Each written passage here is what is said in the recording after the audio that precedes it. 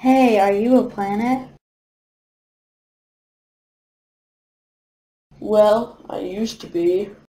What do you mean used to be? They used to call me a planet, but these days I'm not sure what I am. Wow, that must be hard. That's not the half of it. Have a seat and I'll tell you my life story. It was February 18th, 1930. I had just been made the ninth planet in the solar system and there was a party in my honor. All my friends were there.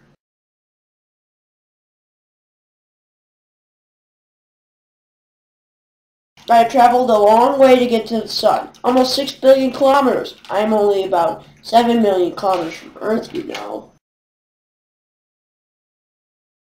A young girl from the planet named Venetia Burney named me after the Roman god of the underworld. She, she chose the name Pluto to honor the astronomer who predicted that a nice planet would be discovered in the solar system. He was named Percival Lowell. PL, get it? Great joke. What was it like to be part of the solar system? It was great to be part of the solar system. Back home, I have lots of friends in the in the Kuiper Belt, mostly periodic comets and frozen asteroids. The other planets are so cool. I couldn't believe I was in their club. Did your friends like the fact that you were now a big shot planet? My closest friends were really happy for me. Charon, Hydra, and Nix are the best moon friends a planet could have. But fame didn't change me one bit. I was still the same old icy ball of methane and nitrogen. But hanging out with the solar system crowd was pretty different. Did you know that your Earth goes around the sun 248 times faster than I do? That's life in the fast lane for you. You got that right.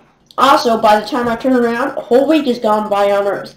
And another thing, Earth's gravity is 455% greater than mine. No wonder I keep losing things. Well, at least you're still a planet. They can't take that away from you, can they? Um, well, actually they can and they did. Back in 2006, some astronomers decided that I wasn't fit to be a planet. They said I was too small and that my orbit was too weird. Can you believe that? After 76 years as the ninth planet, I was reclassified as a dwarf planet. How embarrassing. I, I didn't know that you were no longer considered a planet, Pluto. We learned in school that you were. I bet you're probably from Illinois, aren't you? How can you tell?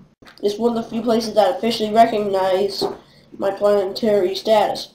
You know that the man who discovered me, Clyde Tombaugh, was from Illinois? Wow, that's one amazing story. You lived quite a life. Well, I'm proud to, say that I have indeed. I hope that one day I will be a planet again. Until that day, I'll hang out way out here in the in the Kuiper Belt. Remember, Brad, it's not important what people call you. Just be yourself. Like me, Pluto.